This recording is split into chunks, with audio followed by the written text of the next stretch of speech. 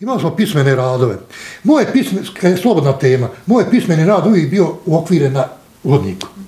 A sve sam imao dvojke i trojke i bilo je jedinica, ne, govor. Nije htio.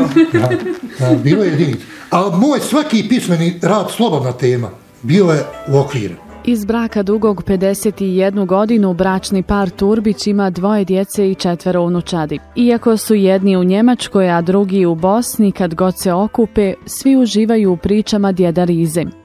Ovaj mesar po zanimanju tokom svog dosadašnjeg života napisao je 35 naslova. Međutim, nikada niti jednu knjigu nije objavio. Svoju prvu priču napisao je zbog najstarijeg unuka, kojem bi znao često pričati razne izmišljene priče. Danas te, ali i mnoge druge priče redovno razvesele, a ponekad i rastuže članove porodice, prijatelje i rodbinu. Dirljiva pripovijek sam napisao o curi koju je momak obeščastio. Nije o nju nasilu, nego navodno poveo da je oženi. Yeah. I on nju obeščastio i vratio je ocu. Isto, isti dan je vratio ocu. Da je ta Halima ostala u drugom stanju i da je njezin otac da sakrije bruku i sramotu ponudi šćer jednom koji bio, nije bio baš ni, ni sabran puno i da još u šćer dadne im u najbolju njivu samo da rodi to dijete kod tog. Halima je međutim to čula i pobjegla od kuće. Otišla je daleko od kuće, živjela je u jednoj kolibi pod Čuprijom, ne, u nekoj čaršiji, sklonila je se, napravila se od e, prubuća kolibu pod Čuprijom i tu je živjela dok je nije porod zabolio. A u tom gradu živio je Mehmed e, Beg, nije imao djece i žena mu umrla. I ona je ocijenila u tom čovjeku da, e, da bi mogao on spast. I onako kad su je bolovi zauzeli, ona je došla Mehmedu na vrata. Da zamoli da je prime da rodi dijete. I tu je rodila dijete, onda Mehmed više nije dao iz kuće. Primio je dijete, uzom, dao mu svoje prezime, da bi na kraju ta Halima postala toliko bogata. Mehmed je njoj sve ostavio. Imao je čovjek dućane, a imao je e, dukata, čup, zaljeven voskom, koji je ostao njemu opet od njegovog djeda. Mm -hmm. I na samrti on je rekao Halimi, Halima, da znaš samo da ovo nije vosak. Da, da su podnosno dukati.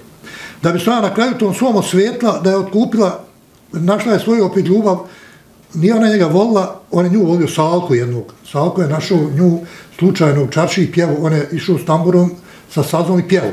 Mm -hmm. I on je pjevao pjesmu Halimi. Halima je, Halima je poznala njega i tako s njim ovaj, dogovori da mu dadne pare da nekako otkupi imanje od toga begodskog sina što je upropastio. I uspjela je za tri godine. Da mu se malo. Je, I na kraju ga je, kad je sve otkupila, s kadijom otišla i istjerala ga iz njegovog be, beguka. A ovaj, to je ostavila braći. To je jako dirljivo kad se čita, mora se malo i zaplakati. Ja. Šta je sve predeverala jadnica. Otkud in- inspiracija? Kako? Pa šta ja znam, dovoljno je da čujem neku, evo prije ovo, e, pogledajući sinove, i to mi je neki izbjeglica, one iz Srebrenice, koja je o, Vesnici, ispričao, ispričao di- dio ovoga.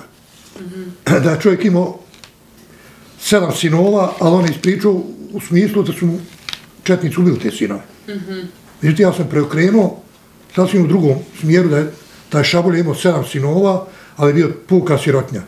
Ponosim se s tim što su moje e, pripovjetke, što moje pripovjetke nisu nacionalistički obojene.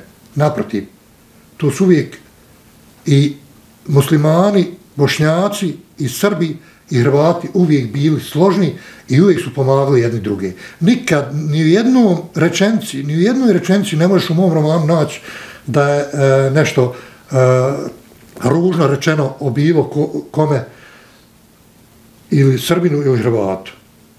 Tako i treba. Ja, A je li ko prepoznao talent ovaj uh, vaš za pisanje? Ili vam kad ponudi, evo vi rekli ste imate 35 naslova, ali nikada niste izdali knjigu. Pokušavao sam, ovako, pokušavao sam, e,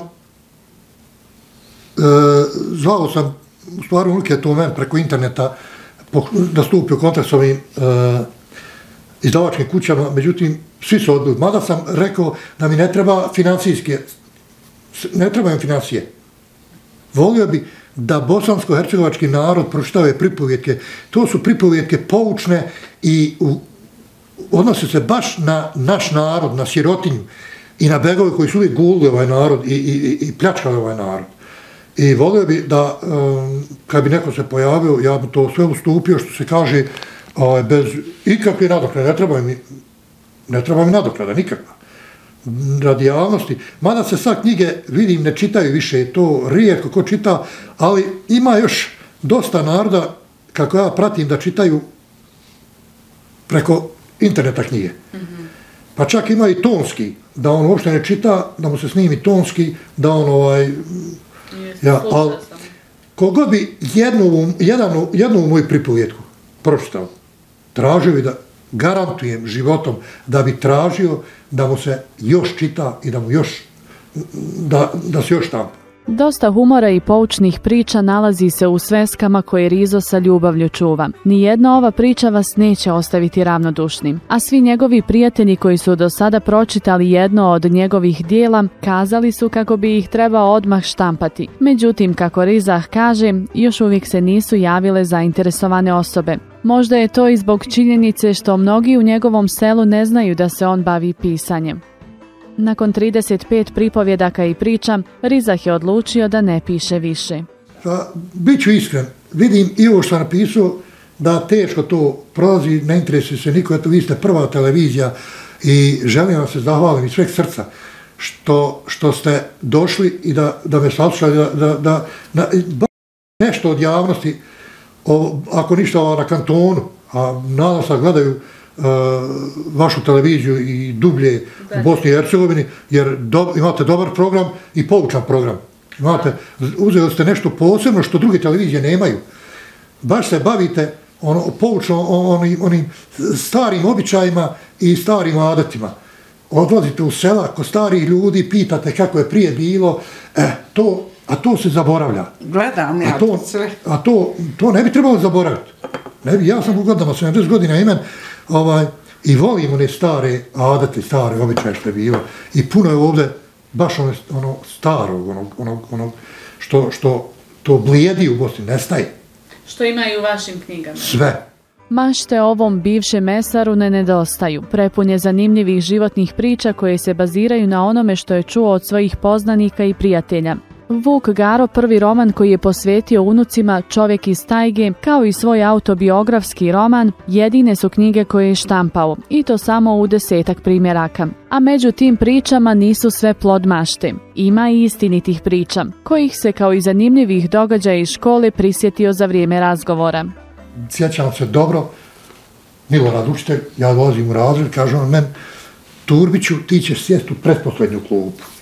A ja stojim, kod njega u stola i šutim. I kako dijeta od 7 godina mora zapamati, kaže on opet, Turbiću, ti ideš u pretposlednju klub. Ko on ima moje podatke, tam Turbiću, iza vidi. Ja opet stojim kod njega gledam njega. Kaže on men, Turbiću, znaš li ti šta je pretposlednja? Rekao, ne znam učitelju. Kaže, znaš šta je zadnja? Rekao, znam. E, ona kad je zadnja, pa ona ispred zadnje. E, to je pretposlednja. E, toga se sjećam, a prvi razred bio u školi. E, sjećam se toga dobro. A bio... Ja, nije se znao prije ko sad. Ovaj, a sad, na primjer, djeca od četiri godine znaju što je pretposledno. Sad su više upoznati sa tim. Je. Kako je ranije bilo, evo, i život, i školovanja, i same, evo, knjige, više se možda cijenilo i čitalo možda. Vidite nešto, ja kad sam bio u školi, nisam bio dobar učenik trojka u vrh glavi. Ali su moji, e, imali smo i srpsko-hrvatsko, taj je bio srpsko-hrvatski, imali smo pismene radove. Moje pisme, je slobodna tema, moje pismeni rad uvijek bio u okvire na vodniku. A sve sam imao dvojke i trojke i bilo je jedinica, ne, govore. Nije ti da, da, bilo je jedinica. Da reknemo, kaže, da koliko će pisao u red, prepisivo, ali pisao si u klupi, kaže, kakve ti to imaš ideje, otkud to tebe? Ja ima nisam znao objasniti. Ali su uvijek moji radovi bili u hodniku. Mada sam bio loš učenik. Al, e, I, znači, od tada ja sam imao neku, e, neki talent za, za to izmišljanje, za to, za to pisanje. Et. Koji ste poslije evo iskoristili? Ja, ja pisanjem se više ne bavi. Sada dane provodi brinući se o kozicama, ali i presimpatičnom cuki i mačku. Raduje se svakom dolasku djece i unučadi koji su bolji život potražili u daljini. Njima, ali i ostalim koji su napustili Bosnu i Hercegovinu, Rizah je napisao i posvetio ovu pjesmu. Majka naša Bosna. Nemojte ovu svoju zemlju dragu ostavljati samo, bez ikoga svoga. Zar gledati Bosnu tužnu, Bosnu nagu, ostaviti je samo, bez korijena tvoga. Bosna vam je mati, a matice, a matice svoja ne ostavlja tako bezbrižno i sramno. A mati ne prašta ni ova, ni koja. Sunce tamo nema, svud je mračno, tamno. Znam, Bosna je sada hljeb sa devet kora. Da života život običnog roba da živite život običnog roba, nestaće lopova, promijenit se mora, a majku na Bosnu doće srećna doba. Prošlo je vrijeme Alinog doba, odletio Aljo na svojim, sa svojim jatom. On je krivi klet do njegovog groba, da njega ne bi prosvrta bi zlatom. Bilo je u Bosni još i teži dana, ali sinovi Bosne tu su vazda bili. Ako jedan čovjek Bosna je bez mana, nikad majka Bosna, nikad majku Bosnu nisu napustili. Osam tu krilu svoje majke Bosne, najtoplije ona i, i mekše ga nema. Pogledajte šume i livade rosne, svog oca i djeda u vladu Kadrijeva. Iako je odustao od pisanja, mi se nadamo da je to samo privremeno i da će ovaj svestrani bivši mesar nastaviti da svojim talentom za pisanje uveseljava i dalje. I to ne samo porodicu, nego i širu okolinu. Želimo mu puno, puno odštampanih knjiga i mnogo promocija.